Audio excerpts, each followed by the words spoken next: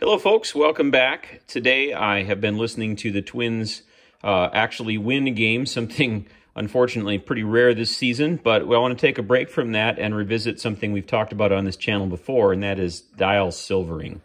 I'll put a link into the video of the series I did uh, nine months ago or sometime. And I wanted to revisit it because I have participated in the Minnesota Clockmakers Guild session where we did uh, another dial silvering project. In this case, I did the chapter ring of our Winstanley here, and I wanted to apply that same mechanism to the rest of the dial. And there were a few things that were suggested in the Clock Guild session that have not been things I've been used uh, before and wanted to just share those and see how they work, and perhaps that would be something that would work for you.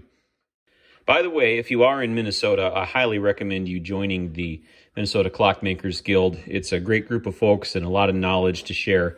If you are outside Minnesota, there are guilds uh, and various other organizations from the NAWCC in probably almost every state.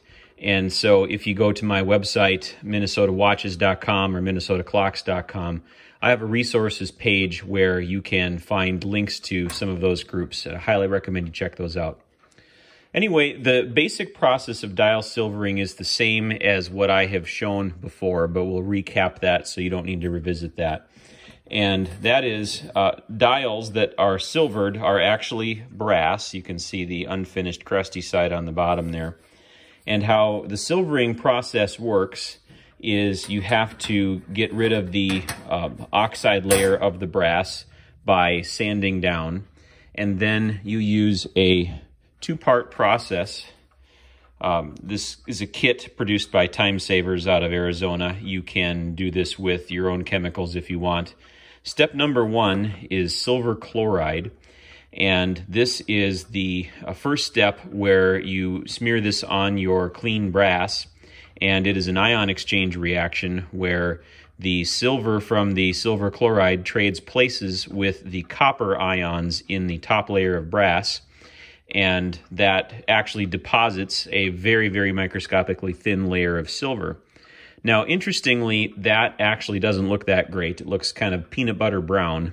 And so step two of the process is this um, cream of tartar, and this is the same cream of tartar that you might find in your kitchen, and you apply this after applying the silver chloride, and then that brightens the brass to look like this.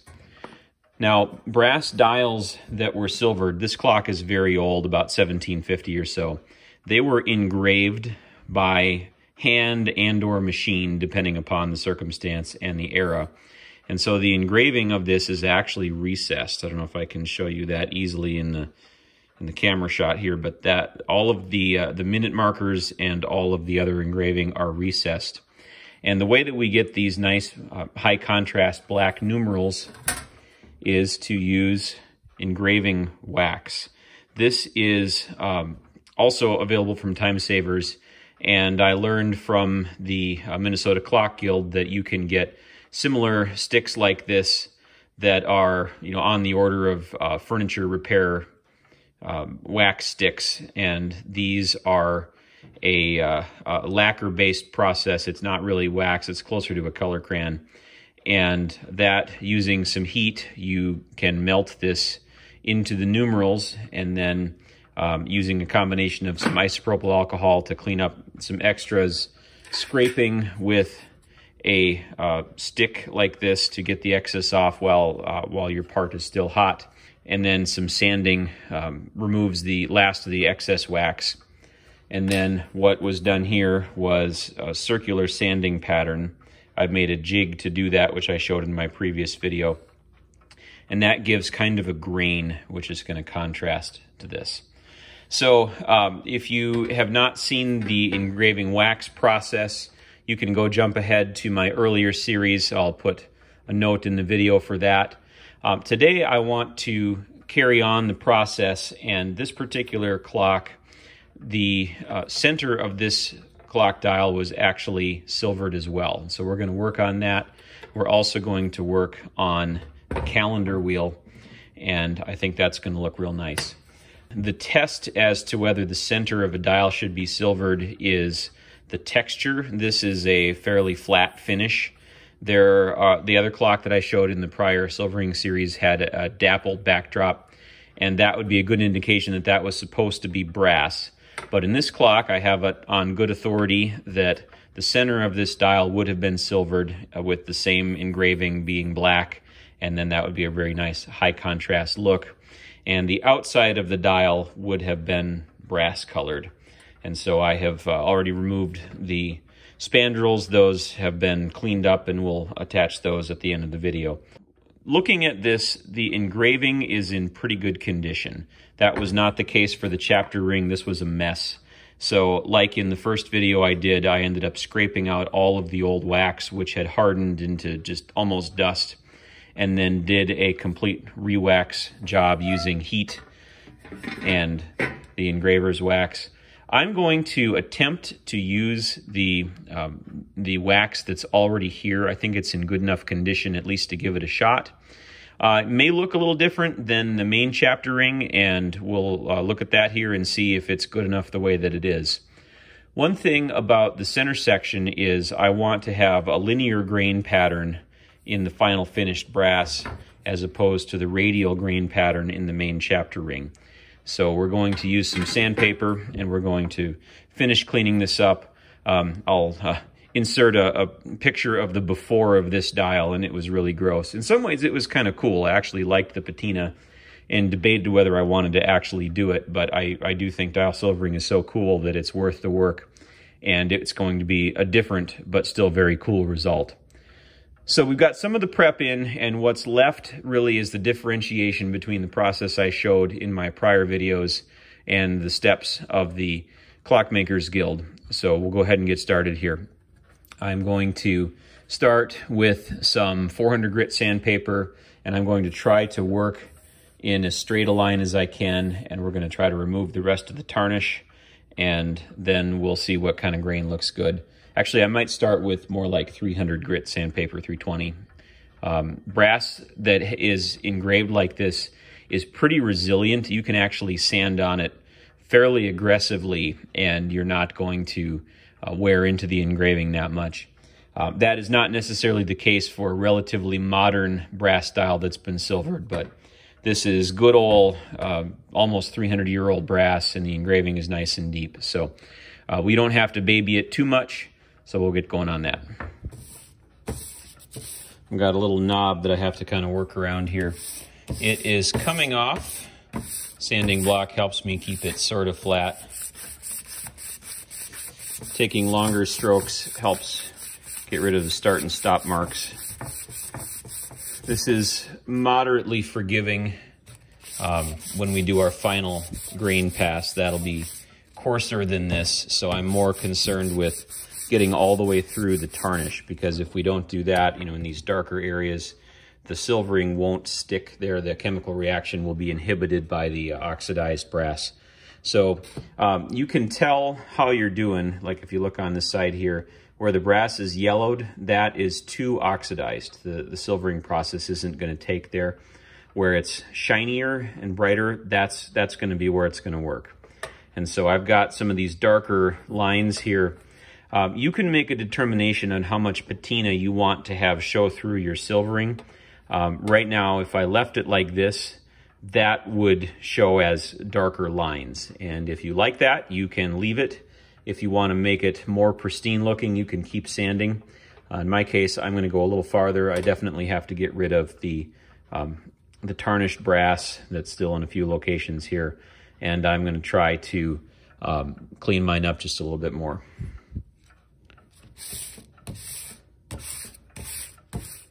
I think this is cleaned up to the level that I'm comfortable with for now. Um, you can see there's some damage in the brass that if I try to sand through that, I'm going to lose a lot of material and it's going to take forever. So I think that is going to be about where I'm going to stop. Um, I want to make sure I've got uh, a good uh, track around the, um, the calendar marker here just because that should be silvered as well. So I'll touch that up before I go on. But then we're going to uh, try to put the grain on and see if we can make this look a little better. You can see the arc of my hand as I kind of sanded this, so I'm going to try to do a little better job when we put the final grain on to try to keep that as straight as I can.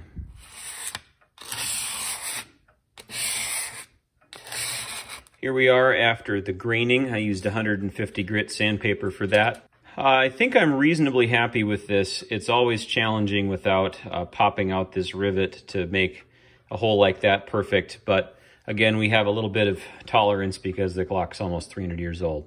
I'm going to rinse this off and get rid of any of the sanding debris, and then we'll start the silvering. The dial is rinsed off. I've left it wet. You actually need a little bit of water for this process, so I've got just a tiny bit in a container here. And how I'm going to apply this is the same way we did it in the last video. I'm going to use a cotton ball mixed uh, with the powder and a little bit of water to make kind of a paste-like substance. And we'll do step one first, the silver chloride followed by the cream of tartar to brighten it.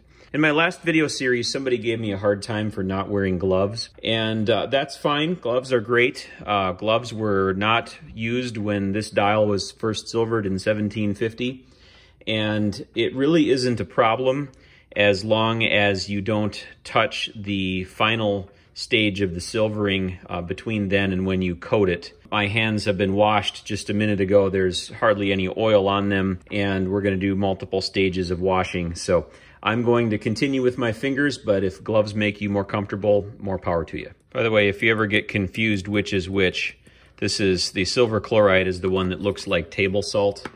The step two cream of tartar is much finer. It's more like baking powder. So I'm going to rub this on here. I'm using just a little bit of water and I'm using some friction to kind of work the silver chloride crystals into the dial. And we should see a very subtle color shift happening here.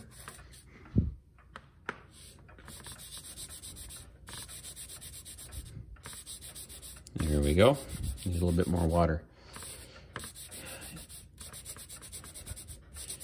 And the spokes of the dial are behind the main chapter ring, so I'm not worrying about that. I am just worrying about the center section, which needs to be silvered. And as I mentioned, this the uh, end result of this first step is not something that looks especially silver. It's just kind of a different color of gray-brown, and that's what step two fixes. So I'm going to just continue around the dial. The engraving is standing out nicely. So hopefully it will be something that we can save and I won't feel compelled to redo that because that is quite a bit of work. You should be able to see the color change happening in just relatively few seconds and you can play with the amount of water and silver chloride um, to get the most effective result here. I had trouble in a previous dial where if you leave these silver chloride crystals in one place, they can actually create a mark in the surface. So I would uh, go around and you know, periodically touch up the, the places that the silver chloride crystals have been sitting so you don't end up with little dots on your dial. Okay, there is the end of step one. I think I've got good coverage there. The color looks uniform and kind of the muddy brown. It does look a little bit silver under this lighting, but in real life it's not uh, as silver as it looks on the camera. I've made sure I've gone all the way around the center section and up the spokes just a little bit so that I'm sure that everything that is going to be exposed inside the main chapter ring is good. I'm going to go take this to the sink, rinse it off, and we will do step two. Step two is our cream of tartar. Oop, that's plenty.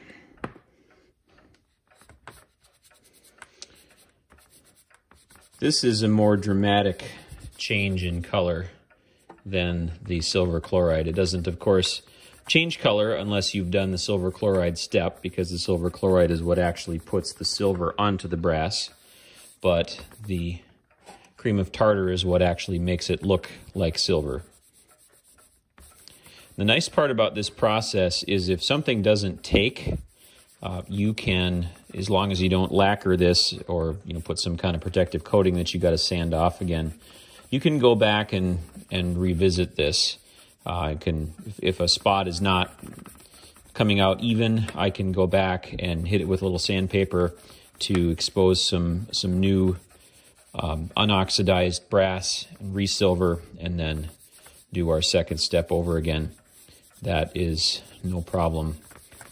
What should be happening is this should be turning uniformly silver and it looks pretty good. Again, and I talk about this all the time on this channel, uh, I sometimes struggle with where is good enough and uh, on a clock that's 300 years old, 275 years old, I think there is a place where good enough is good enough and a little bit of patina is actually desirable so that people can appreciate the fact that it wasn't made last week and sold at the furniture store. So I'm okay with some minor imperfections here and there, but I do want the silvering to come out as evenly as it can, uh, apart from the nicks and dings that are part of its history. So I think this is looking pretty good. I will go rinse this off and I will be right back. I think this looks pretty good. So you're asking me, okay, so what's different than the last time? These are the same steps that you showed us in the previous video series, and that is true. And that brings us to our first point of difference that uh, was discussed at our clock guild, and that is using baking soda as a third step to neutralize any remaining uh, chunks of the uh, cream of tartar, which is acidic.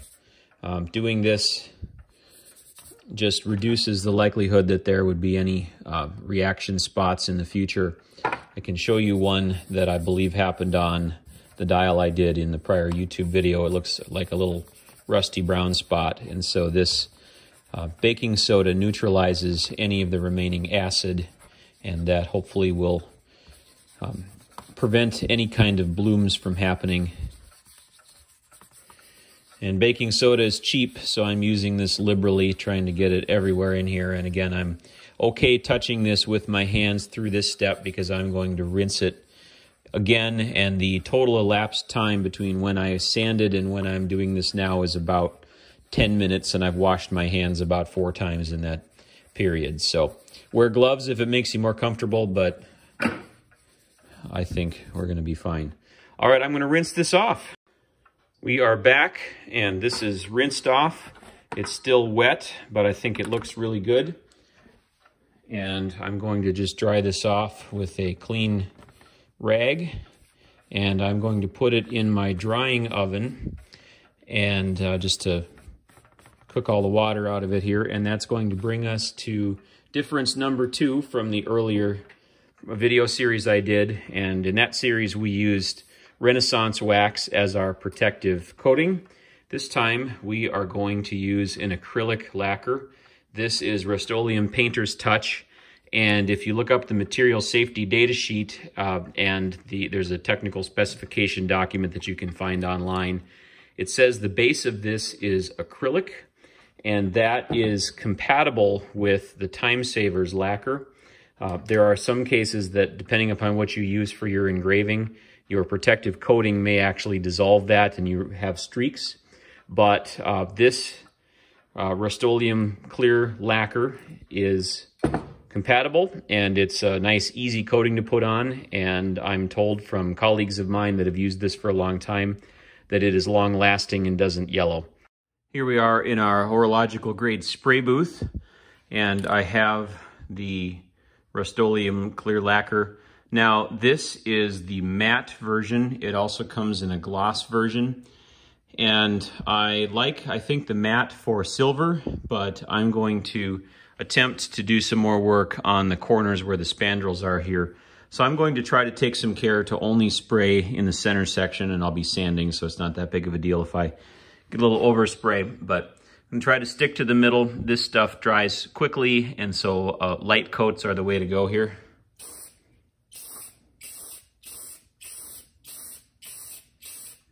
I repeated the process we just saw on the calendar wheel here. The only difference is I used my uh, circular sanding jig to recreate the grain pattern that is radial around the, the gear. How the circle sanding jig works is there is a uh, pivot point in the middle and I've engraved concentric circles and use this spatula to um, put sandpaper on. This is fairly flexible and this allows me to contour the sandpaper around um, any different thickness material or sometimes uh, angles and I can create radial sanding strokes.